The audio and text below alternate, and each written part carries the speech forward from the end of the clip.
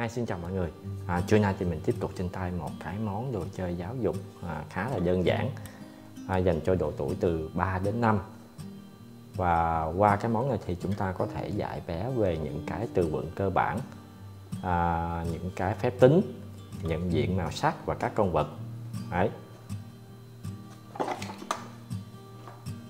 Đó. Đặc biệt thì có thể đặt được cái điện thoại lên đây. À, à, bây giờ mình sẽ mở cho mọi người xem ở bên trong. Rồi ở bên trong hộp thì chúng ta có một tờ hướng dẫn à, bằng tiếng Anh. Đấy. Cũng không cần tờ không cần thiết lắm. Mình nhìn vào là chúng ta là biết cách chơi. Một cái bàn nhỏ như thế này. À, để chúng ta đặt lên đây. Ở đây thì chúng ta sẽ có 32 cái thẻ và mỗi thẻ như thế này thì à, đầu tiên chúng ta có thể dạy bé về nhận diện màu sắc. Đó, ví dụ như chùm nho nè màu tím màu xanh nhận diện các ờ, đồ vật trái cây. Đấy.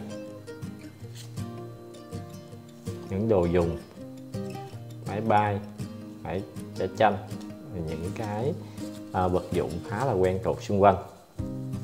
Và ở trên mọi cái thẻ như thế này á nó có tên của nó có từ vựng tiếng Anh. Tiếc là nó không có tiếng Việt. Cái này bố mẹ phải dùng từ điển để dịch. Và cái à, bên đây là những cái à, phép tính. Đấy. bên này là nhân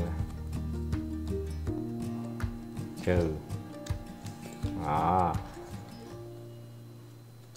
ở đây họ có in những cái chữ cái cho các bé gáp vào gắn ở trên trên trên đây. Mọi người lưu ý là với cái độ tuổi từ 3 đến 5 á, thì những cái đồ nhỏ nhỏ như thế này bố mẹ phải chơi chơi cùng ngồi quan sát con không thôi là các bé sẽ bỏ vào miệng. Đấy. Bây giờ mình sẽ gắn thử nha. Bây giờ mình sẽ lấy ra một cái uh, miếng thẻ để mình chơi. Và cái này nó đơn giản thôi ở trên cái bảng nó có một cái miếng đậy lại.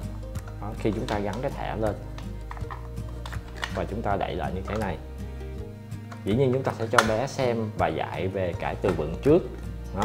Mà chúng ta đẩy lại để chúng ta che cái phần kết quả và cái à, từ vựng tiếng Anh ở dưới đây đó để chúng ta đố bé.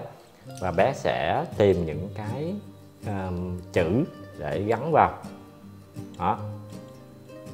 Như cái đồng hồ clock mà chúng ta sẽ cho bé tìm chữ C.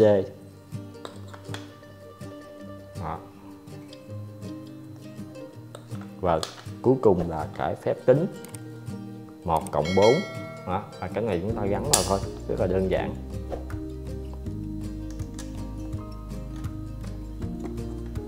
Đó. sau đó thì chúng ta sẽ xem cái kết quả. Nếu mà chính xác thì mọi người nhớ là khích lệ bé. Đó. tóm lại với bộ thẻ được in rất đẹp.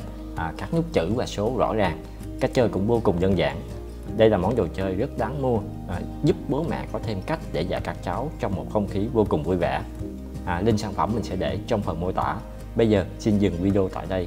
Cảm ơn và hẹn gặp lại ở sản phẩm tiếp theo.